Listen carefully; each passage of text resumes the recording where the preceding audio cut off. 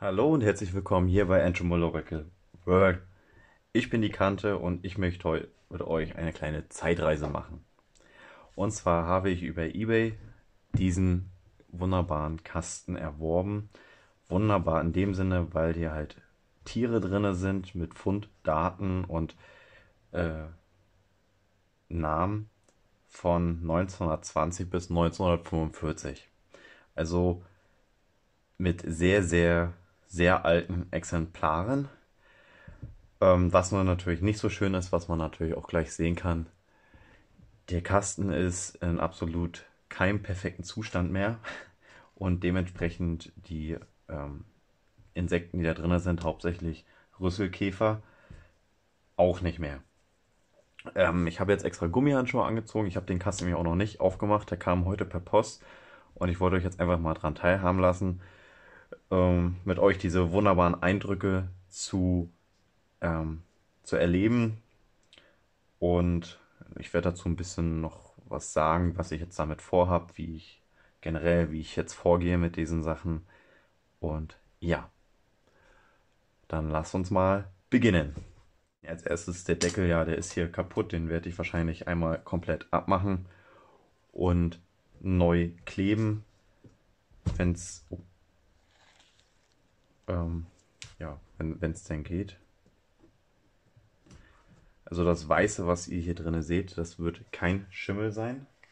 Ich denke mal, das wird Napta, Naptalin, glaube ich, heißt das, sein. Das ist ein spezielles Mittel halt gegen, gegen Schadinsekten. So, jetzt kann ich die Lampe auch wieder rüberholen. Jetzt reflektiert das nämlich nicht mehr. Und euch mal ein bisschen dichter. Ja. Also ich bin einfach unglaublich fasziniert davon, einfach wie gut erhalten teilweise die Käfer noch sind, also wirklich nur teilweise, aber auch einfach das Alter. Das ist, also, wenn jetzt wirklich vor 1920 Tiere bei sind, doch hier, der hier sehe ich gerade, 25.05.21. Also das ist schon unglaublich. Ja, könnt ihr mal ein bisschen so was sehen und das sind halt wirklich alles irgendwelche Rüsselkäferarten, ja jetzt gut, bis auf die Libelle und die, die Motte und ich weiß jetzt nicht, was es mit den Blättern hier, hier auf sich hat, was da drin ist, das werde ich dann vielleicht auf den Zetteln äh, identifizieren können, hoffe ich doch. Und ja, fangen wir mal an. Also meine Vorgehensweise ist jetzt eigentlich die, ich werde alle Tiere, die hier drin sind, rausnehmen und in eine extra Schachtel packen, die ich mit Styropor, wo Styropor drin liegt. Und dann geht das Ganze erstmal ins Gefrierfach, um mögliche Schadinsekten, die jetzt hier drin sein könnten, ich weiß ja nicht, wie das gelagert wurde und wo es gelagert wurde, ähm, abzutöten, um mir einfach nichts selber hier in die Bude zu holen und einfach aus Sicherheitsgründen. Frost tötet eigentlich so gut wie fast alles an Schadinsekten. Ja. Und wie ich diese Tiere, ich ziehe jetzt hier mal einen raus. Oh. Puh. Ja, und wie ich jetzt diese Tiere hier ähm, aufarbeite, aufarbeiten werde, das, das weiß ich nicht. Also hier scheint irgendeine Spinnmilbe oder derartiges dran gewesen zu sein. Ähm, da muss ich jetzt mich selber erstmal wirklich ein bisschen nach erkundigen und alles erfragen, wie ich das am besten bereinige. Also ich kann da jetzt auch gar nicht groß mit dem Pinsel beigehen, weil wahrscheinlich einfach alles sofort abbrechen würde. Ich versuche gerade mit der Pinzette ganz leicht das alles mal abzuziehen. Mal gucken, was steht hier auf dem Etikett drauf. Na gut, das wird noch auch eine Tortur. Die alte Schrift hier zu entziffern. Also auf jeden Fall steht hier 1934. aber kann ich, kann ich nicht sagen, steht auf dem unteren Label. Ja, wahrscheinlich kann er nicht sagen, was, was für eine Art das war. Ich kann aber leider nicht erkennen, was hier auf dem oberen Zettel steht, also auf dem roten noch. Es wird wahrscheinlich der Fundort gewesen sein.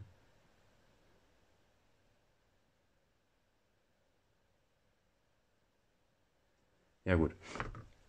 So, erstmal eins.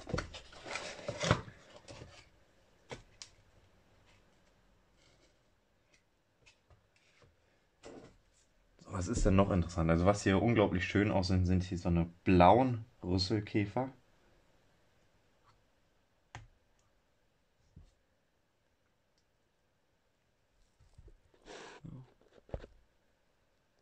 Da.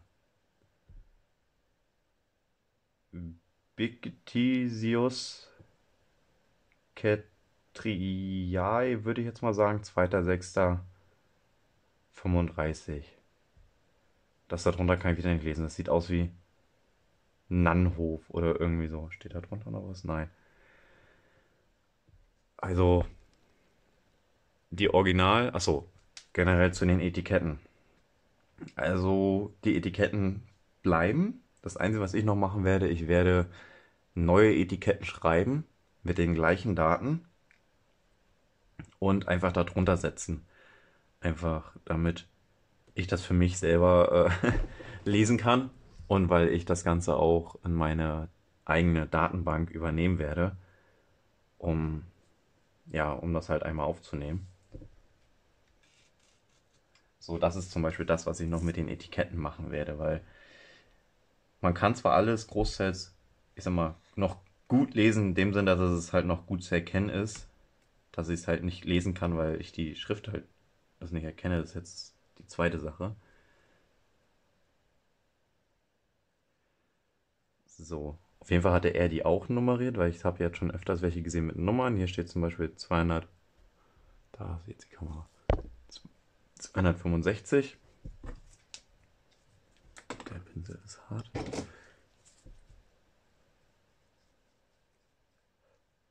Oh, ich will gar, nicht von, gar nichts von diesem Staub einatmen hier. Das ist echt Wahnsinn, wie doll das umherstaubt. Ich glaube, setzen wir gleich noch eine Maske auf hier. Ähm, Teutenburg.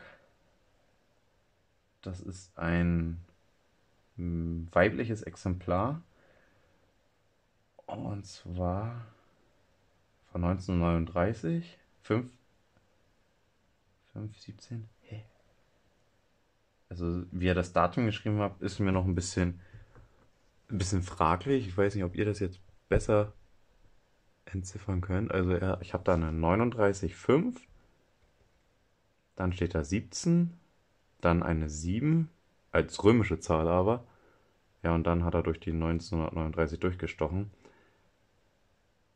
Also wahrscheinlich 17.07.1930. Darüber steht die Art, das kriege ich jetzt aber nicht ausgesprochen. Rhynzites, würde ich jetzt mal sagen. Auratis. Also es ist auf jeden Fall einer, ein Rüsselkäfer, der ein bisschen original grünlich ist. Wenn ich jetzt hier ganz leicht rüberstreife, kommt das auch zum Vorschein. Also auf jeden Fall sind hier einige Arten bei, die ich definitiv auch selber jetzt mal googeln muss. Weil mit Rüsselkäfern bin ich noch nicht so bewandt. Ja. Das jetzt erstmal zu den Käfern. Ah, das waren jetzt erstmal so Mitte 30er Jahre. Jetzt gucke ich mal, ob ich mal was finde, was noch älter ist. Oder halt was, was jetzt hierbei ist, was ich zum Beispiel gar nicht verwenden kann oder was halt wirklich total hin ist. Ich glaube nicht, dass ich das schaffe zu retten.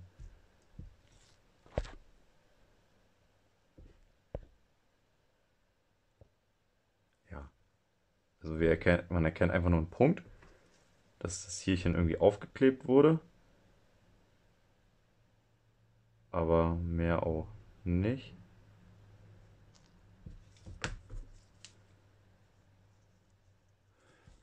Irgendwie funktioniert der Fokus meiner Kamera heute nicht so, der spielt nicht so mit, wie ich es mir wünsche.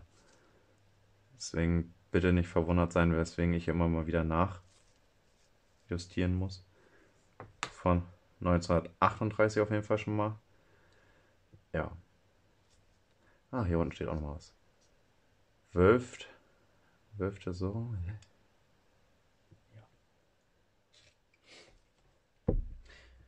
Gut, jetzt will ich mal interessieren, was das hier für einer ist.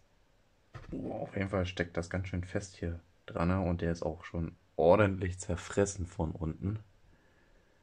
Da sieht man schön die Löcher und da am Flügel sind auch Fraßspuren. Da sieht man auch so ein Kokon so einer Larve, die er dran gefressen hat.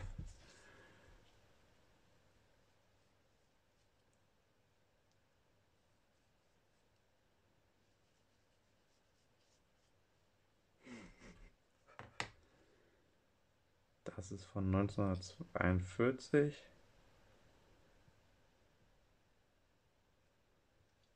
In Kosovo.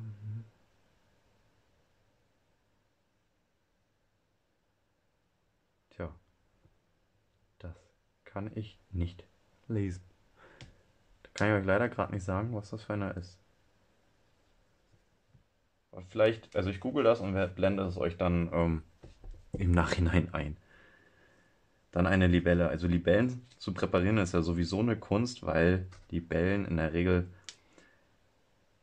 immer eigentlich die Farbe verlieren. Also, oh, da fällt der Kopf. Ach, das ist dann hier der Kopf, der hier noch lose dran liegt. Also der Rest vom Kopf, sagen wir mal so. Die Facettaugen sind da auch nicht mehr vorhanden. Ähm, ja.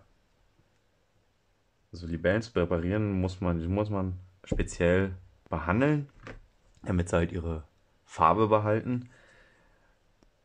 Und ganz oft werden auch bei, vor allem bei größeren Libellen, das kann ich jetzt hier nicht erkennen, oder ist da was zu sehen? Nein. Also zumindest wurde es früher so gemacht, ob es heute immer noch so gang gäbe ist, weiß ich nicht.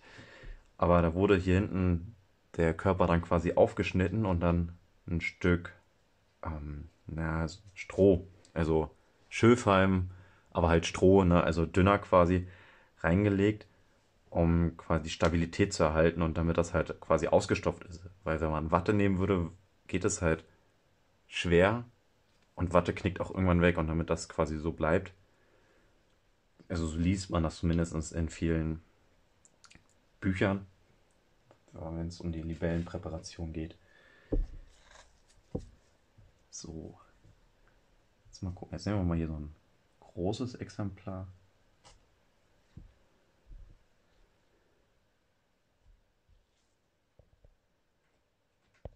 Hoffe, wir können das jetzt erkennen auf, an meinem schwarzen Handschuh. Katara. Meine Katze kratzt hier gerade umher, das stört. Ähm, aber auf jeden Fall, gut, bis auf das hier mal was vom Fühler ein bisschen weggebrochen ist, sind die Tiere so an sich echt sehr gut erhalten. Und das ist jetzt auch wieder von 1939 ein lieb Lipa, Lipasu, den zweiten Teil kann ich wieder nicht lesen, in Teutenburg. Also bestimmt stammen viele hiervon aus dem Teutenburger Wald, könnte ich mir vorstellen.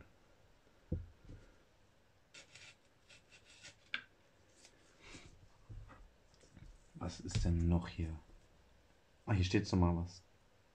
Eine deutsche Bezeichnung, aber halt nichts weiter komplett dazu. Und zwar steht hier einfach nur Apfelstecher. Doch, da ist es noch ein Tier daneben und noch ein extra Etikett. Also ich denke mal, dass es damit gemeint ist. Ein Apfelstecher. Ich weiß nicht, ob ihr davon schon mal gehört habt. Ich nicht. Werde ich aber mit dem, der daneben steckte, und mit dem Etikett hier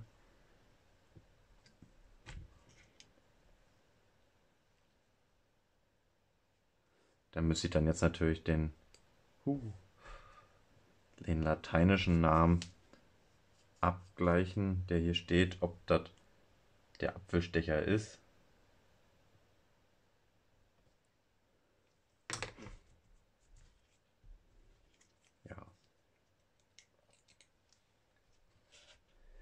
So, jetzt mal noch interessant hier diese eingewickelten Blätter.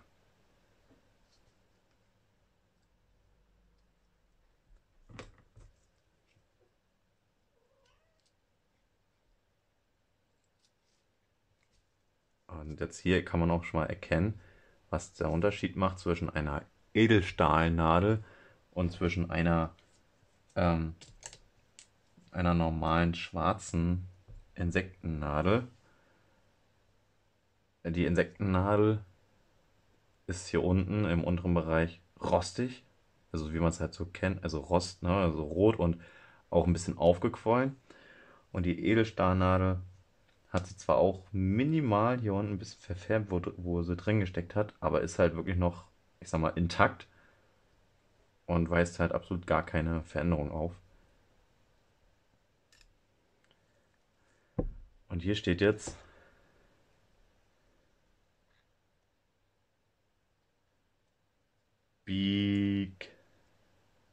Bictius Popui 1944. Okay. Ich glaube, ihr seid genauso schlau wie ich jetzt.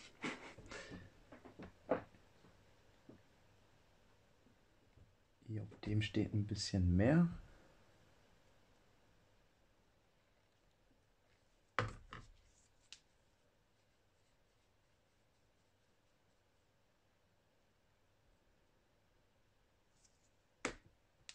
Neunzehneinundvierzig.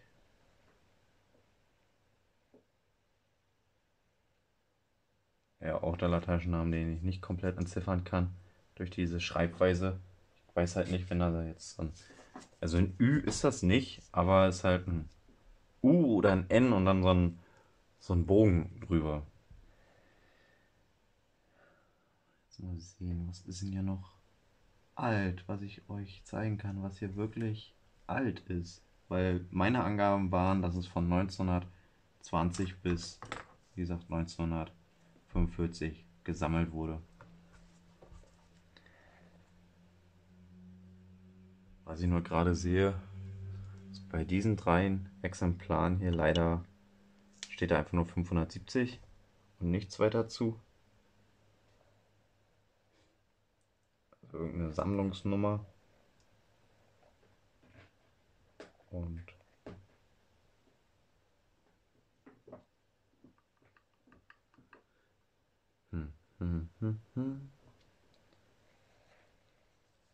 Also was ich jetzt noch gesehen habe, ist hier was von 1926. Ne, hier sogar von... Da, jetzt habe ich einen. Den habe ich sogar letztes Jahr bei uns, also optisch gesehen, sage ich mal, letztes Jahr bei uns gefunden. Ein, ein dicker Maulrüssler oder wie sich die nennen. Sitoma I, ja, Inte, ja, 27.08.1920. Fast 100 Jahre alt.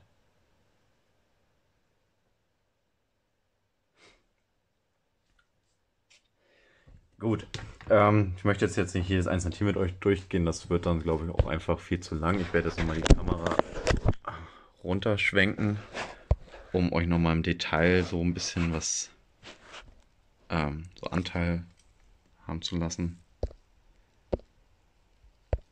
Aber ansonsten, ich werde euch auf dem Laufenden halten. Es wird ein nächstes Video kommen, wie ich dann, wo ich dann hoffentlich weiß, wie ich die Tiere bereinige und euch das dann nochmal erzäh erzählen. Und ansonsten, ja, habe ich eigentlich noch eine Sache. Ähm, fällt mir gerade ein, habe ich fast vergessen, euch voll unterschlagen. Jetzt habe ich noch einen älteren Kasten erworben vor einiger Zeit. Und zwar ist das hier ein Sperrmüllfund. Da hat eine Frau auf einmal in einer Insektengruppe nachgefragt, ob daran Interesse besteht. Sie hat diesen Kasten auf dem Sperrmüll gefunden. Und das, da konnte ich absolut nicht widerstehen. Das ist jetzt ein Kasten, der sich nur um Schwebefliegen handelt. Ich krieg den nicht. Und Auch wunderbar datiert und geordnet. Also da hat sich einer richtig viel, so, richtig viel Mühe gemacht und Arbeit. Und den wollte ich euch jetzt einfach in dem Zusammenhang nochmal kurz zeigen. Denn auch hier sind viele bei, äh, ja gut, so alt sind die jetzt gar nicht. Die sind jetzt aus den 90er Jahren. Hier ist sogar ein bei, also den habe ich schon dazu gesteckt. Die habe ich gesammelt. Aber 1993 von ein C. Dunis. Also hier steht auch der, der Sammler mit bei. Die wollte ich euch jetzt auch einfach nur in dem Zusammenhang noch einmal zeigen. Eine alte gebrauchte Sammlung. Ja. Gut. Ähm, ich halte euch auf den Laufenden und wünsche euch bis dahin erstmal alles Gute weiterhin. Bleibt gesund. Lasst mir einen Daumen und ein Abo da oder schreibt in die Kommentare, ob ihr auch solche alten Sammlungen schon mal erworben habt oder kennt, der einer hat, der die nicht mal haben möchte. Der darf sich gerne bei mir melden. Und vielleicht, oder vielleicht wisst ihr ja auch, wie man solche alten Sachen äh, restauriert und wieder reinigt. Dann sage ich erstmal Tschüss. Bis zum nächsten Mal.